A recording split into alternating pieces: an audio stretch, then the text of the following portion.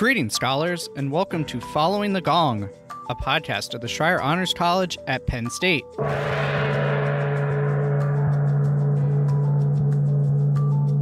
Following the Gong takes you inside conversations with our scholar alumni to hear their stories so you can gain career and life advice and expand your professional network.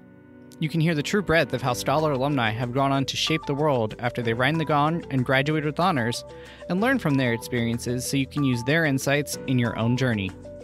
This show is proudly sponsored by the Scholar Alumni Society, a constituent group of the Penn State Alumni Association.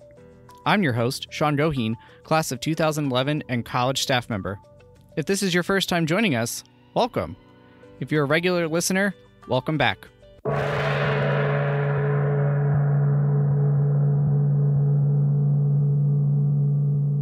Lauren Jowell, class of 2004, is the chief of a monitoring and evaluation division in the Bureau of International Labor Affairs at the U.S. Department of Labor in Washington, D.C. Though she is appearing on this podcast in her personal capacity and her views are solely her own. Her team is responsible for strategic planning, independent program evaluations, and collecting and reporting on performance data for executive, congressional, and interagency reporting requirements. Lauren shares her experiences at Penn State Erie, the Behrend College, where she earned a BA in political science with honors and high distinction in 2004. She also shares her experience experiences in the Peace Corps, earning masters in international law and politics from Georgetown, and using her social sciences background in several federal roles. Lauren provides great insights on navigating the job search for federal jobs and the distinction from a more traditional resume and application process and the perks of living in Washington, D.C. You can read Lauren's full bio and a more detailed breakdown in the show notes on your podcast app. And with that, let's dive into our conversation with Lauren following the gong.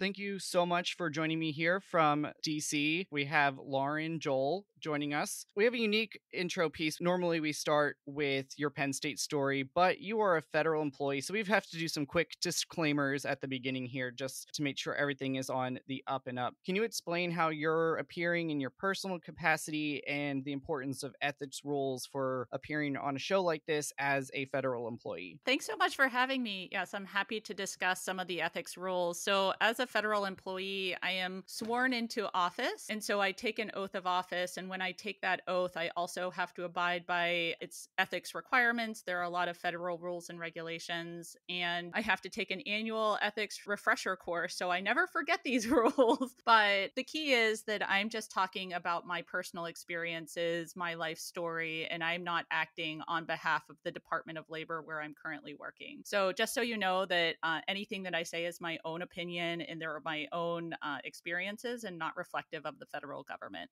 Unfortunately, the whole point of the show lines up very well with your ethics rules because we want to hear your story, your journey, your advice as a Penn State alumna, Lauren. So thank you for for coming on here. Now that we've got that out of the way and have that disclaimer here, and just for those who are wondering, maybe I know I've seen some things in the news. Every guest on this show is a volunteer. We do not pay people to be on the show, nor do they pay to be on here. I know that's the thing that's growing in the podcast industry, but everyone volunteers their time to be on here. So thank you, Lauren. So let's start back at the beginning. Now, you shared in the questionnaire that you had kind of a reason that maybe some students might relate to for picking Penn State. We've had townies on here who pick it because they grew up here, they love State College. You have another re- very relatable reason for picking Penn State. Can you share that? Yes, and it all centers around my car. Whenever I was thinking about college, I was so, so interested in going out of state. I wanted to go to Boston. I was obsessed with Boston. I don't know why. There was no good reason for it. And my mother's like, there is no degree that you will get in Boston that you can't get here in Pennsylvania. So that had to like change my sh- my thinking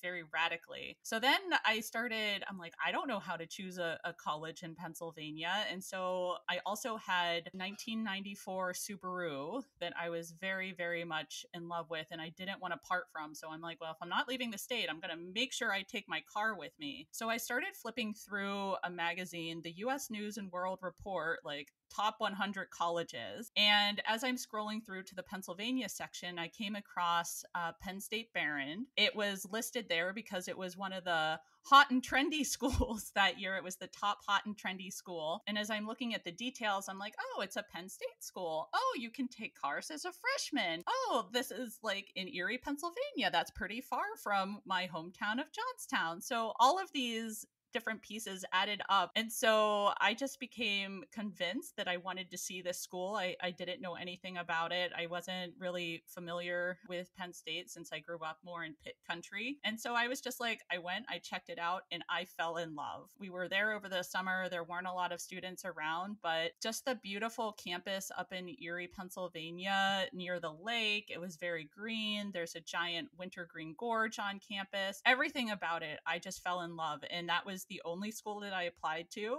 and uh, the rest is history. As you just mentioned, you applied to Penn State Erie, the Behrend College, and you are the first Behrend grad that we've had on the show here. So, can you dive a little bit deeper into just what makes that campus really special? If you've ever talked to anybody who's either started at or graduated from Behrend, it's its own little thing up there. It's a very unique community and a very unique part of the Penn State family. So, can you share a little bit about what it's like to be at Penn State Behrend? Yeah, so there were a lot of things about about Penn State Behrend that really drew my interest. I think the fact that the class sizes were all very going to be small. The largest class size, I think, was 150 and that's for the the major lecture hall. And I graduated with 98 students in my class, and so that even 150 students in a class seemed like a lot to me, and I couldn't imagine bigger class sizes than that. So the class sizes were very small. What was really cool was they had a two year honors program. So they're for the first and second year students, and it's not officially part of the Schreyer Honors College, but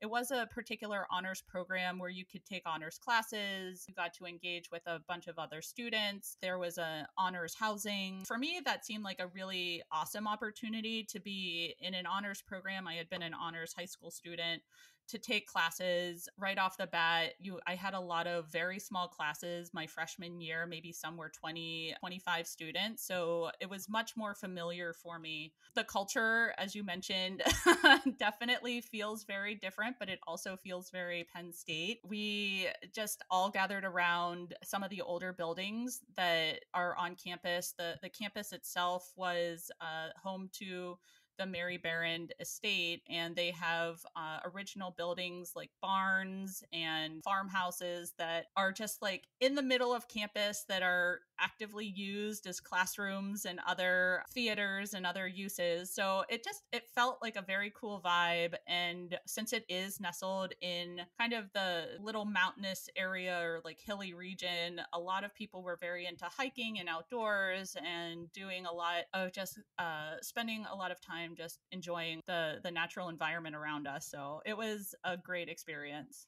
And then, of course, you entered the honors college based on that honors program at Behrend. Can you talk about what it's like completing the Schreyer experience at Behrend? You know, your classes, your thesis, and I think you have a pretty funny story that you wanted to share about your thesis experience that could maybe help any student who's had a bit of a mortifying experience relate to somebody else who, you know, you're not alone in that. yeah. So when I was uh, a first and second year, I was very eager to take a lot of honors classes. So so I took almost as many as I could. So by the time I was a sophomore and junior, I had exhausted almost all of the honors classes that were available. So I spent a lot of time doing the option where you can make a course an honors course. So I really got to work very closely with a number of different professors, doing a lot of in depth research on different topics, uh, foreign relations. Uh, I wrote a number of papers on post conflict in the post Soviet Union conflict or uh, other Eastern European affairs. So I really felt like I was getting more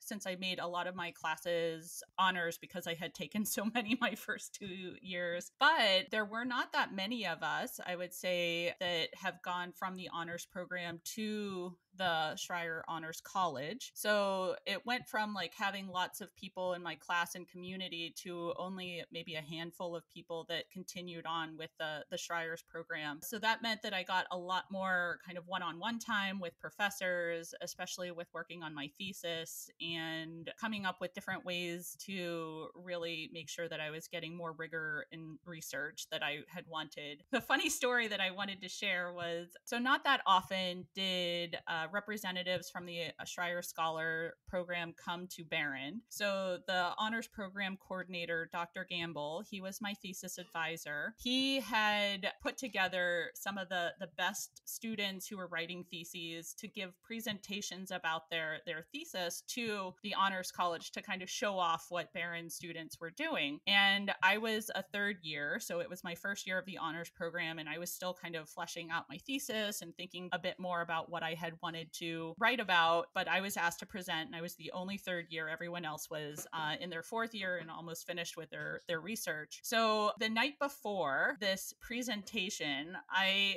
wanted to dye my hair, and so I asked some of my friends, you know, hey, let's just do this. I got some box hair dye off the shelf. I was going for a little bit of like a reddish tinge. I'm a natural blonde, so I thought it was going to look like really nice and cool, very natural, and it did not work out as I had planned. My hair came out hot pink. Like it looked like uh Frenchie from Grease. I don't know if anyone has seen that musical, but like Easter egg pink, like super bright pink, and I couldn't get it out.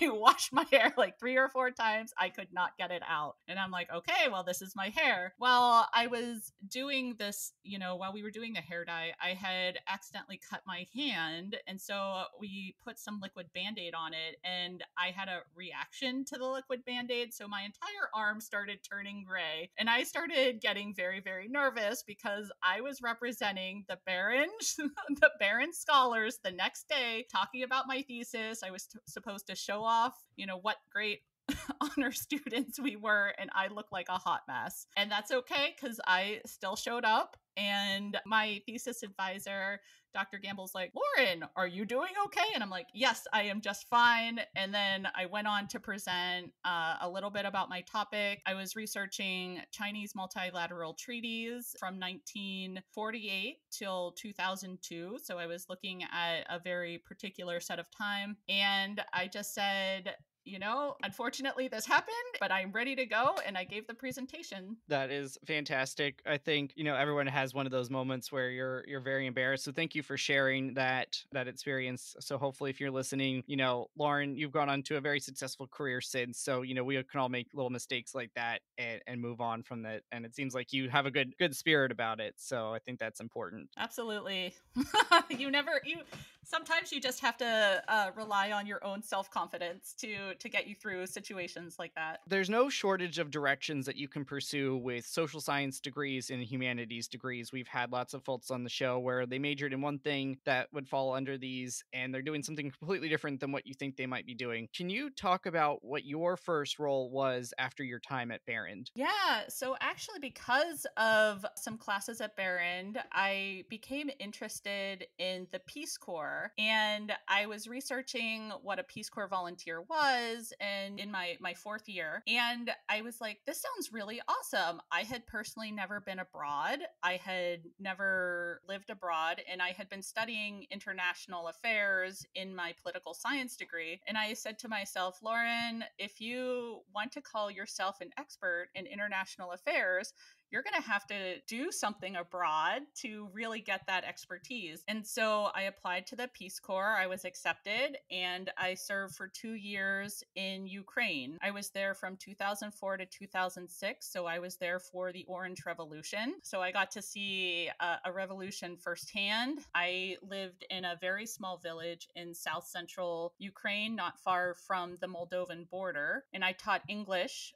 for for those two years. I taught grades five through eleven, and I taught some English clubs. I worked at summer camps and helped to establish a library and judge some of their English language programs that they they do around the states. It was a really awesome experience, and I know with all going on in Ukraine now, I'm still in contact with my host family that had supported me for those two years. So they're still living there. And my host sister, who was in fifth grade at the time and is now a, a super rock star in the IT sector, is living in San Francisco. So we've been staying very um, much in close contact. That's great to hear, and especially hoping that they're doing well given everything that's happened in 2022 in that part of the world. You can talk to this either hopefully in terms of the Peace Corps, but then also more broadly. What advice would you have for scholars that are looking to study abroad? I know you did you didn't study abroad as a student, but who are looking to go abroad or even live and work abroad after graduation? Absolutely. I would say go anywhere not in Europe. I think anywhere in Central or South America, I think anywhere in Africa or Asia. That will get you some really great hands on experience because the vast majority of jobs in the international affairs sector are working in development, and the development is taking place in Latin America, Africa, and Asia. So, getting that experience in maybe a, a less traditional location is something that I, I highly, highly recommend. I looked into studying abroad while I was at Penn State, but uh, it, the timing just didn't seem to work out for me. So I think you have to, if you're interested, plan early to to do a study abroad. And if timing doesn't work out like it didn't for me just look for other opportunities. There are, are, various programs things not necessarily the peace corps but opportunities that will get you abroad for even if a few months uh, just to get you some of that experience. I think a lot of organizations are looking for students or uh, young professionals to just be out in the field and to to really try and, and lend a hand in a number of different ways and I would assume you might also throw Australia in with the Europe listing yes. there. yes, I would definitely put Australia, New Zealand into the the Europe bucket.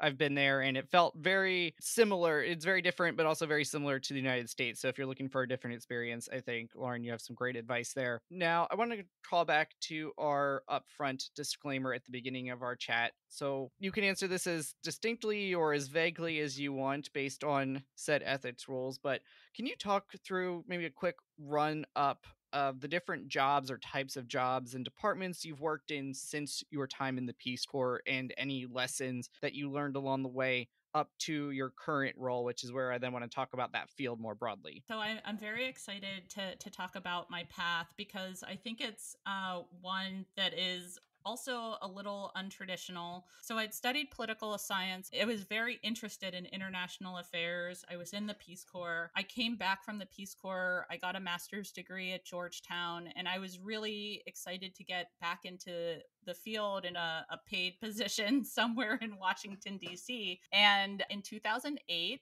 there was a very, very difficult job market. And I could not find any kind of job in international affairs at all. I interviewed here, there, and everywhere. And, you know, despite having been abroad and now having a second language and a master's degree, I didn't have enough experience to work in international affairs. It was just very, very difficult for me to try and find a position. So, fortunately, there was uh, an opportunity that came up in the federal government where they were looking for people with international experience, uh, people that were from with the social sciences, because we were great writers we were really good at synthesizing, analyzing, and writing. And it was in an auditing field. I knew absolutely nothing about accounting. The only math class I had taken was my freshman year, so many years ago. But my supervisor at the time said, you know, Lauren, I can give you the skills that you need to be an auditor. I cannot give you the skills to be a great writer. So he was really interested in somebody with great writing skills. And uh, it turned out that I love the the field. It was government oversight and I just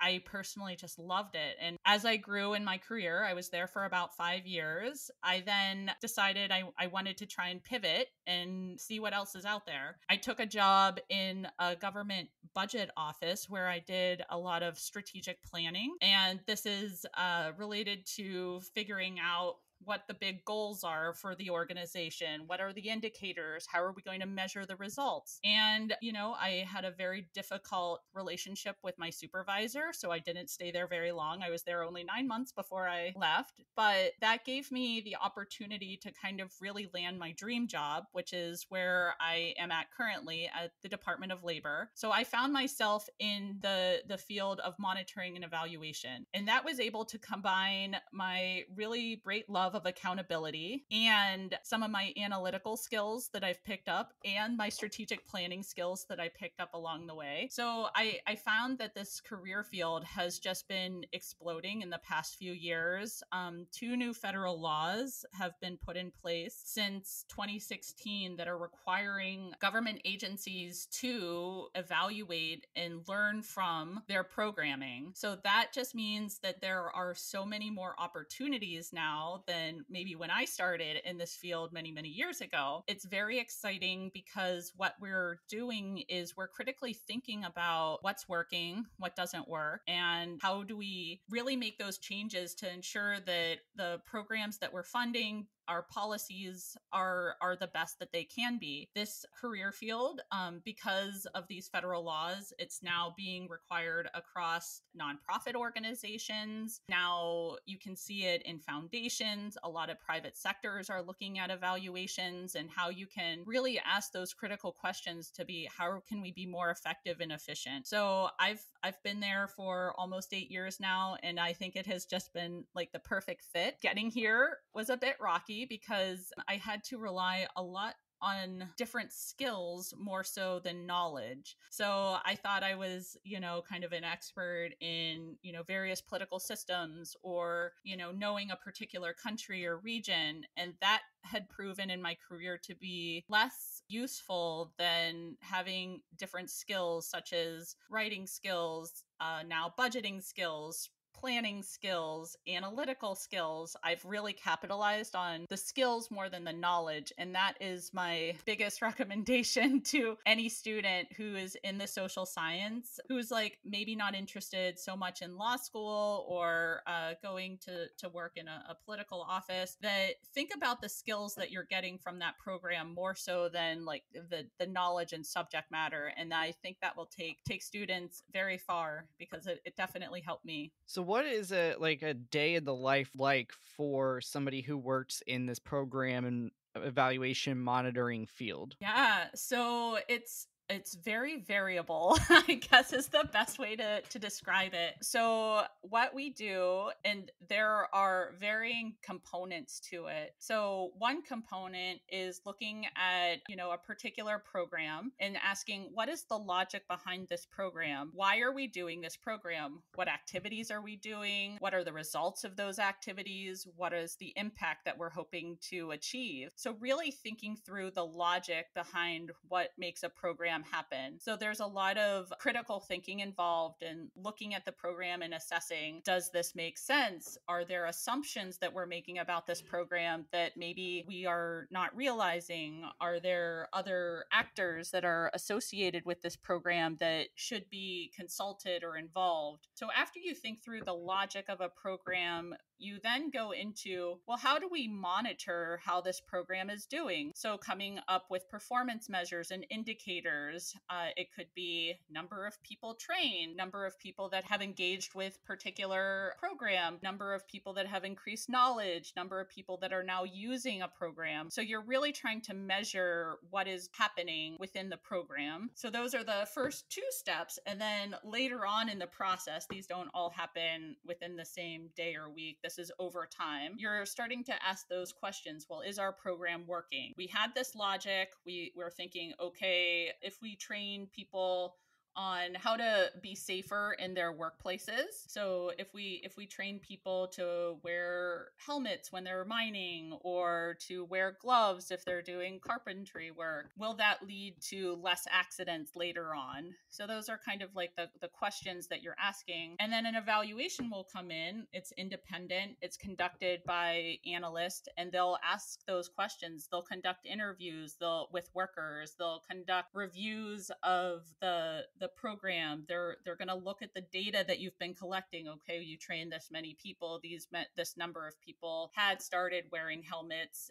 uh, this number of people did not start wearing helmets and start comparing did people that wear helmets are they safer than people that have not worn those helmets? Or people that wore uh, safety gloves are they safer and have less injuries than people that didn't wear the gloves? And asking those questions and doing some analyses to make a determination yes people that wore gloves uh, when they're doing carpentry are less likely to have injuries, and therefore, you know, wearing gloves is a good safety practice and should be encouraged and replicated in programs. So that's kind of the point of what we do and, and a little bit how we do it day to day there's a lot of collaboration and discussion with people because, you know, it's not that easy to decide and define what a program is doing or what it should do or what you want it to do. So you have to get a lot of people in agreement around that. So it's a lot of consultation and facilitation. There's a lot of reviewing documents, a lot of critical thinking. And I've uh, recently told some colleagues, I'm like, we get paid to think because that's what we're doing. We're doing a lot of critical thinking and a lot of reviewing and asking tough questions. And then a lot of just really analysis. It could be in the form of statistics or surveys, it could be in the form of interviews or focus group discussions or listening sessions, lots of different ways to gather information and data. So it's it's a really cool field for people that are curious. That's awesome. And it really sounds like it could be a good fit for Schreyer Scholars because it sounds like it's a lot of applied research if if i'm interpreting this correctly. Absolutely. So the evaluation field uses a lot of the social science mechanisms and research methods. There are unfortunately a lot of university programs do not have a specific evaluation focus but people will come out of political science fields like uh, psychology fields, sociology fields, because that's where they're getting those those skills on conducting focus group discussions, conducting interviews, gathering firsthand data, designing surveys, things like that. Those are taking place in a lot of the social science fields. So it's a really cool opportunity to use those skills, but maybe not produce a research. You're you're trying to produce and answer different questions. Research is looking what else is out there and evaluation is asking what is happening with my particular program. Well, you partly answered the next question I wanted to ask too, Lauren, which is what kinds of majors or backgrounds do you and your team typically have and find that can be really helpful for for folks who are doing this work? I find that as i mentioned psychology sociology political science to some degrees uh, people that are really interested in statistics but not necessarily. There's a kind of a divide in the evaluation field between people that like quantitative data versus people that like qualitative data i myself like the qualitative the narratives the stories the discussions with people versus the the numbers, the hard facts, the different ways of of gathering numerical data. But there's definitely room in the field for both and need for both. There's also, I'm finding a lot of people with background in data visualization or interest in data visualization, economists, people that uh, really like using economic data, or people that are, are very good with kind of dealing with uh, accounting and numbers. So it's varying. Uh, there is no one size fits all. We, the evaluation field welcomes everyone that is interested. I mean, there's also a lot of people with international relations background because the international development field was one of the first fields to adopt evaluation and monitoring and evaluation back in the 1990s. The program evaluation really started in the US in the 1970s with education and then psychology and then international development. So that's why you'll see people with those backgrounds generally entering the monitoring and evaluation uh, field. So obviously scholars do a thesis like both of us did, and that's probably a great experience for going into this line of work. But are there any other experiences that scholars could be looking to get in college that could help them? You talked about gaining particular skills. What should they be focusing on if this is of interest? Yeah, I I think that if you engage with um, professors that might be doing research programs, things like literature reviews, looking at if they're they're doing any kind of survey work, if you're if they need help coding different survey reports or coding data, I think that would be a really great opportunity. We have one professional organization for the field. It's called the American Evaluation Association, and they love student members. They have a lot of opportunities. Uh, they post a lot of opportunities for students. Recently, they had uh, something they called Evaluation Without Borders, where people could get more experience doing evaluations and helping small nonprofit organizations organizations they may not have the funds or, or people to do this type of work but have volunteers come and help them put together an evaluation plan or help them think about a logic model and you work as a team. So it's not you yourself having to do this for an organization. You get to work with other professionals, people that are also looking to get this experience. So that is uh, an area of opportunity that the the organization has been creating for for students to try and get more hands-on opportunities uh, in this field. There are other ways that I think that you can really capitalize on this. A lot of our our program is about writing. So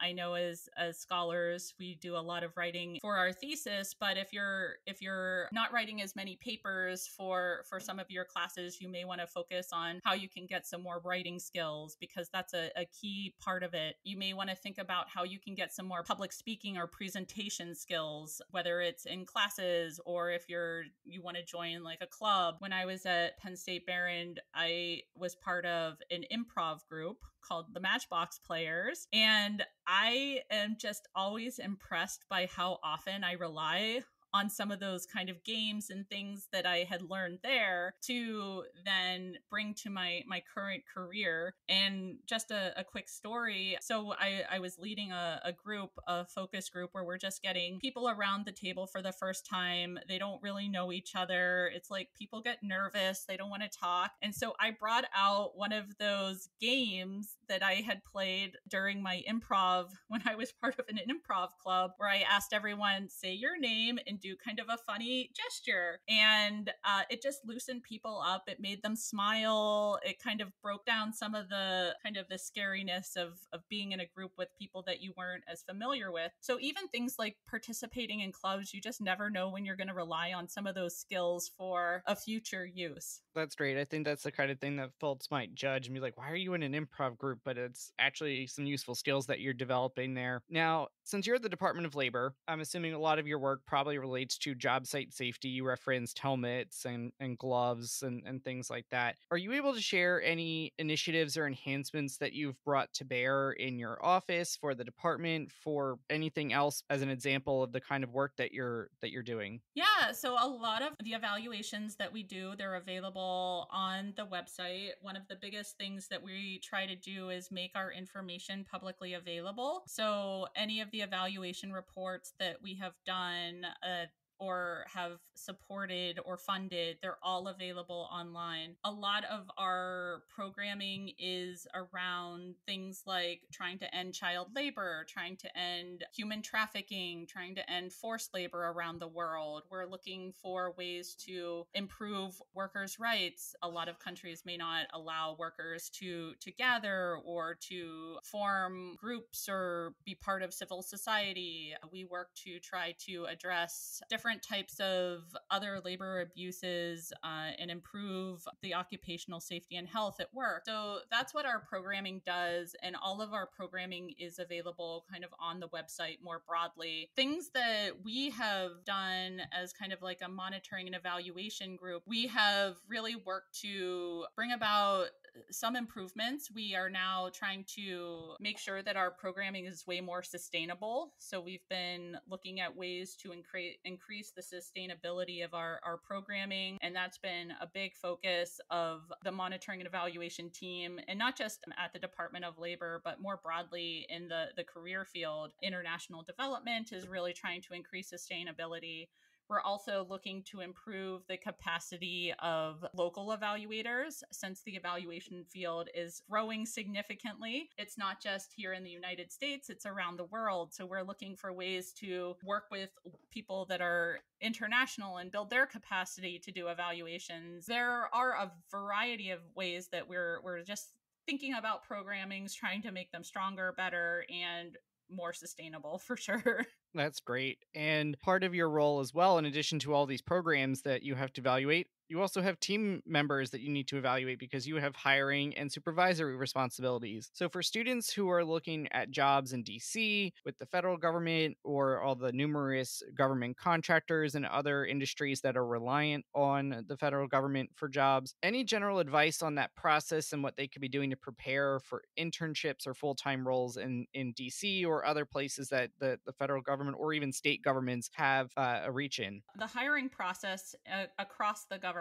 is very different from what you would find in probably the private sector or even the nonprofit sector. So uh, be prepared to take a long time for hiring. Most of the jobs are available on USA Jobs, uh, federal agencies, uh, and even some federal adjacent agencies are required to, to publicly post them. And so there is that one stop location of USA Jobs to find opportunities. I know for federal contractors that FedBiz Ops, it sounds kind of weird, but that is another one stop place for finding those types of opportunities. It really does take a long time. Uh, your resume, I know in every other industry they say no more than a page maybe a page and a half or two pages maximum if you have tons and tons of experience. The federal government i think also with um, state governments are, are going to be in a similar boat and i imagine contract uh, for federal contracts as well.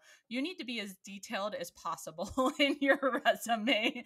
So uh, my resume is something like 13 pages and i've spelled out everything you know from I have enhanced communication skills because I'm able to write reports and emails and synthesize information in a written format. so, like, all kinds of bizarre things to explain that I'm able to communicate to people, something that you may not need to do in a, a nonprofit or a private sector industry. You really do need to take your time and look at the job announcement, see what they're asking for, look at the specialized experience, see if what they're asking for, and be honest. You know, you have to attest to the honesty of your application. So try try to be as honest as you can and answering a lot of the questions and just explaining your experience. So while you do have to go into a lot of detail, don't I I do not recommend making stuff up to fill that space. I was laughing as you were talking about that because I typically ask guests to share their resume. Many do when I'm preparing to interview them. And normally it's like a page or two for the academics. You know, they have their CV with all their publications. And then I got yours,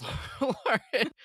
and it was it was very lengthy and very detailed. And I was like, wow, where do I even start trying to write questions based on this? But hey, if you know, you got to know how to play the game, right? And and if you're interested in those roles, go back and listen again to what Lauren just shared about applying for federal and contract work because it sounds like it's entirely different than the advice you're typically used to getting for literally just about anything else. So, thank you for sharing that, Lauren. One thing that I that I've done with my resume that I I think in addition to all the detail that has been helpful and I've heard from other people that had looked at my resume in the federal government, they said, "Oh, we'd like your one-page summary."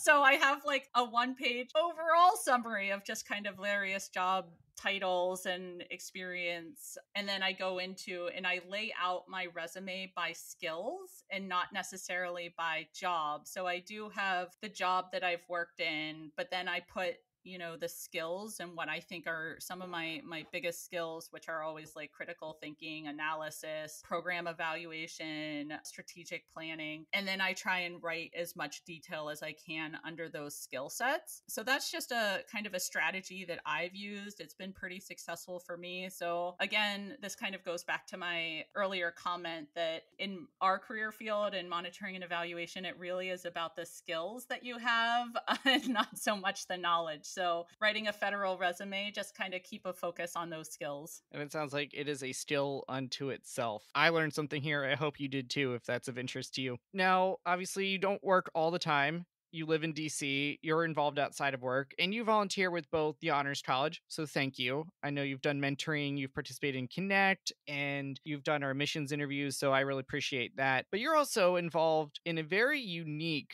Penn State group that I think only exists in DC.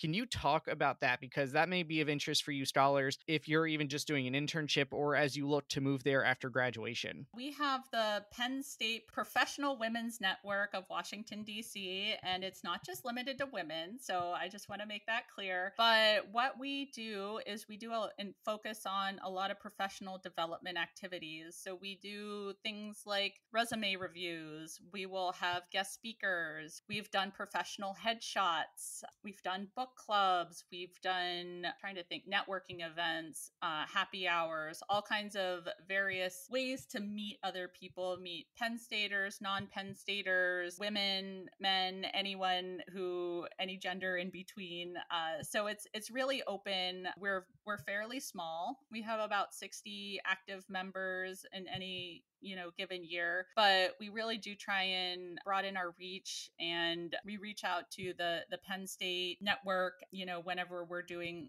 big events. Uh, annually we host an ice cream social with berkey creamery ice cream that we bring down from state college and it's actually geared to uh, interns and students who are in town for the summer so we're trying to help students and interns make connections with people, young alumni and alumni that have been here and just want to eat some ice cream. I've been involved in this group for almost a decade, and the organization in this particular alumni group has been around for more than 25 years. So it is a long standing and pretty cool way just to meet people. So if you're slightly more introverted like myself and are kind of intimidated by some of the alumni groups that have big football watch parties or big other events, this is a nice way that you would get to meet some people then on a smaller scale. I think that's really cool. Obviously, advice we're always going to give you as grads is find your local chapter of the Penn State Alumni Association whenever you're going out into the world or interning somewhere else. In Pennsylvania, they're typically by county. In the rest of the country, it's typically by big city and metro regions or even by state for the, the areas where there's fewer of us. But in DC, you have a very special opportunity there. So if you are looking to intern there, be sure to check out that group. I think that's a great resource for you. Now, Lauren, obviously, you have to find some time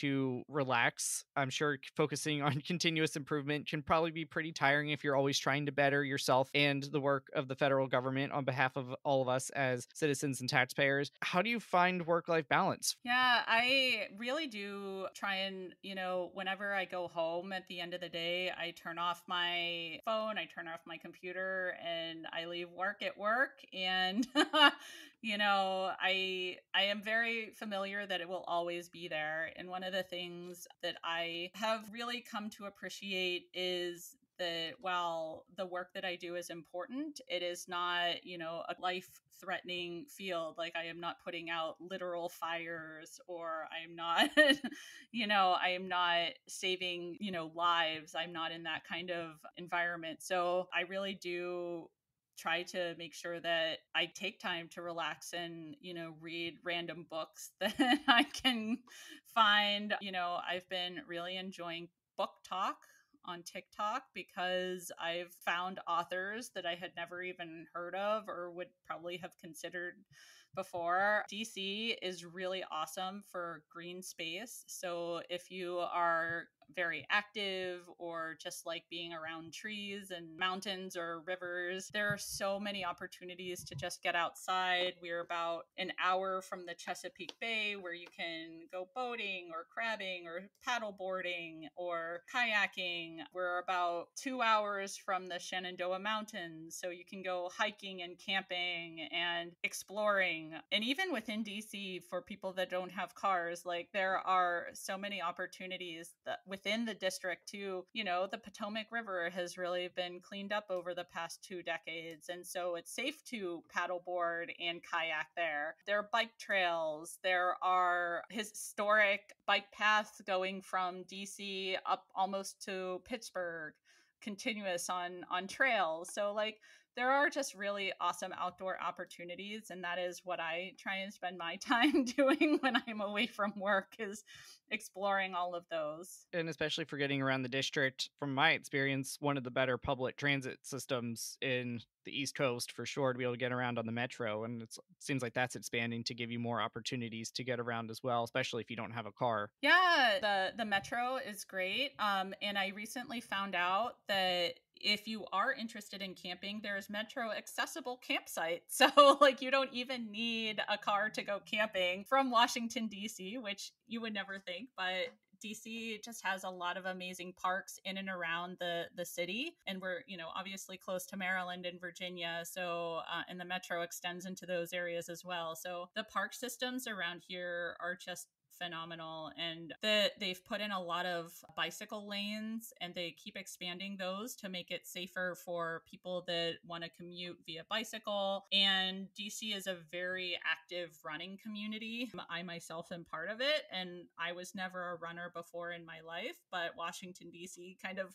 changed my view on running. So yeah th- this is just a very great way to explore kind of the environment and history and culture. Love it. Now we're going to pivot to the back end of our conversation here. Lauren, what would you say is your biggest success to date as you reflect on your career so far? That's hard. I think um, one of the things that I am just very proud of are a lot of the reports that I had been able to not co author, but even just contribute to. I have been able to participate in a lot of really great reviews of the programs and policies of the federal government and you know have been able to make some changes. During my auditing career we were able to help you know really strengthen policies and programs at the FBI specifically the the reports were all available for those audits online. We also I've been able to really look and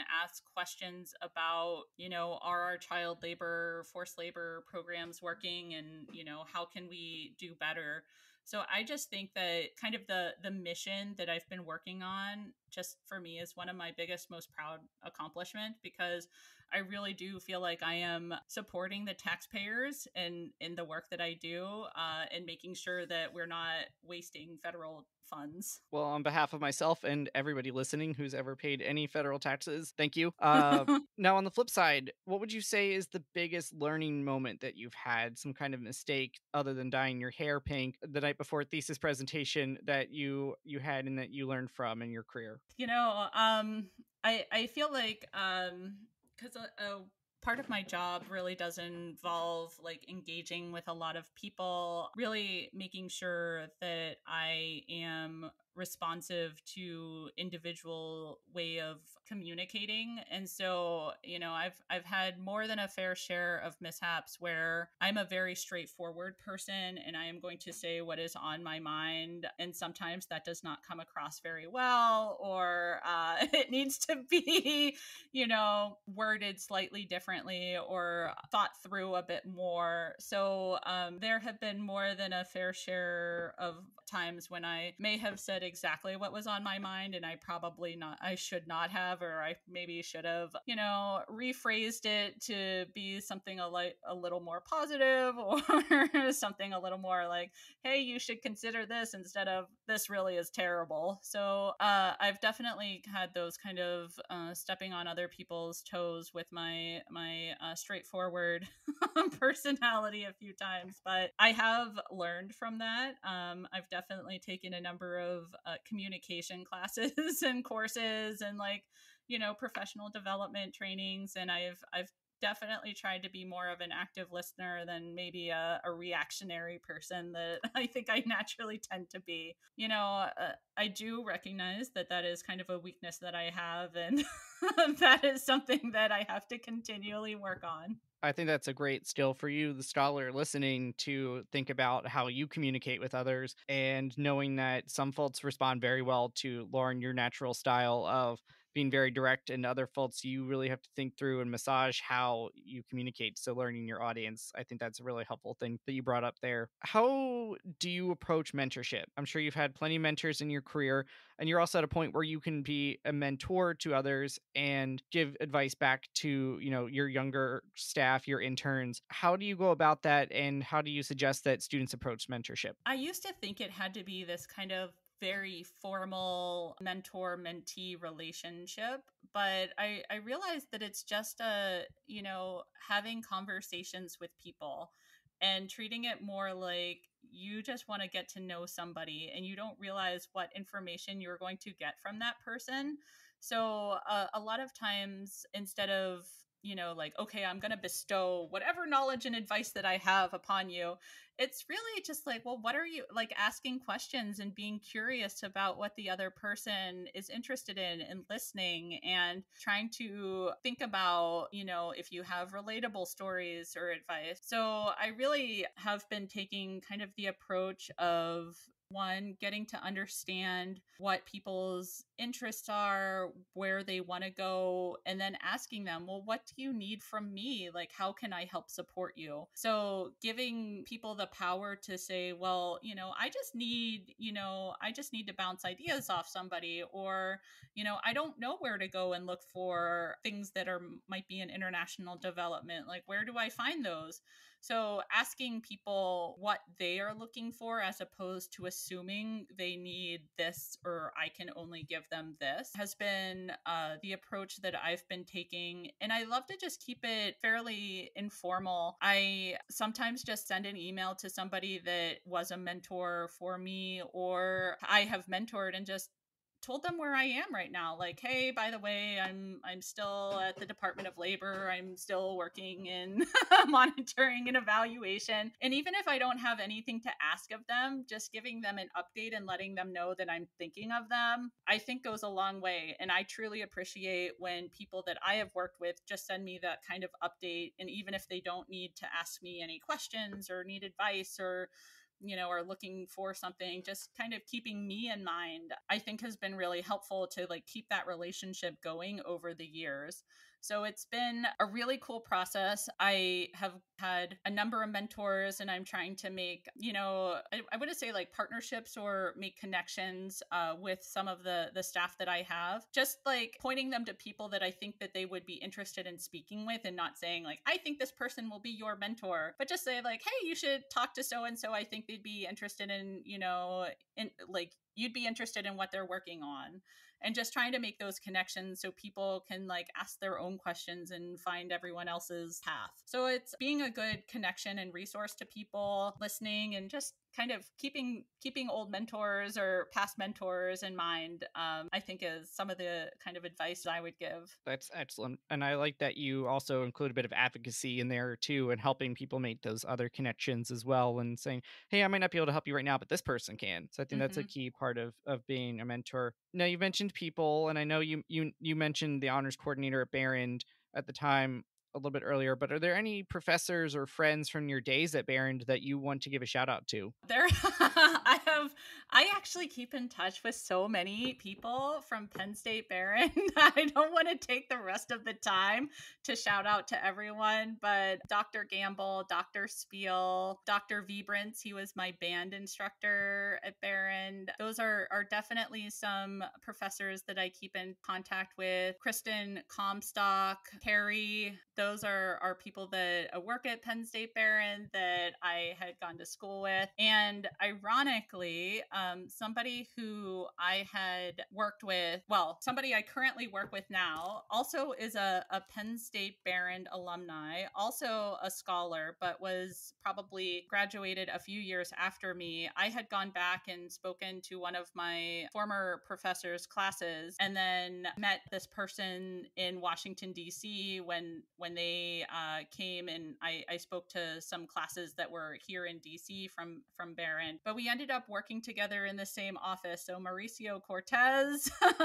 he is also a Penn State alum who, small world, we've managed to end up in the same little niche office at the Department of Labor. You gotta love when those Penn State connections pop up. I think that's what really makes this community special. What also makes it special is the advice that you've given throughout the conversation and paying it forward to our current scholars. Is there any last piece of advice that you wanted to give to students about their time at Penn State in the Honors College, whether at University Park, Behrend, or across the Commonwealth? And just didn't come up in our conversation so far. I think the only other advice I would give to students is always say yes to whatever opportunities come your way. Um, some of the the best memories that I have from Penn State are when you know random people have asked like, "Hey, do you want to go grab a, a light a late night bite at a restaurant?" And then you end up talking for hours about you know different classes and what you've been doing, and then you know 20 years later you're still friends because you said yes to a random person saying, "Hey, do you want to grab a bite to eat?" Uh, or even just like for research opportunities, I I had a, a professor who was creating a, a database of multilateral treaties. I didn't know what those were, and I thought that sounded cool. And, you know, I ended up, you know, working on it and then writing my thesis based on it. So, you know, you just never know what kind of random opportunities come up. So I just encourage you to try and say yes. If a scholar wanted to reach out to you and connect with you and take this conversation a little bit further, learn more about program and evaluation monitoring, learn about life in DC, life at Penn State Behrend, how can they connect with you? Yeah, I am available LinkedIn. Uh, my uh, I don't quite know what my handle is, but my name is Lauren Piera Jowell. so I I keep a public profile, so you can definitely find me there, and that would probably be the easiest way to try and reach out to me. Excellent. And finally, I hope you were able to get this at least periodically up at Behrend, though with the amount of snow you probably had, I don't know how often you would want ice cream. But if you were a flavor of Berkey Creamery ice cream, which would you be? And as a Scholar alumna, most importantly, why would you be that flavor? I would probably be uh, Death by Chocolate. That's my favorite flavor. um, and I think the reason why is just because it is a, a, little over the top, it's a little bold, and who doesn't love chocolate? that is a great choice. Lauren Jowell of the Department of Labor. I hope I can put that out there. You're that's where you're at. You'll see that on her LinkedIn where she told you to connect with, with her if you are interested in taking this further. Thank you so much for coming on Following the Gong today and sharing your experiences at Penn State Behrend in the Peace Corps in DC for our scholars. Really appreciate it. Thank you so much. Thank you for having me.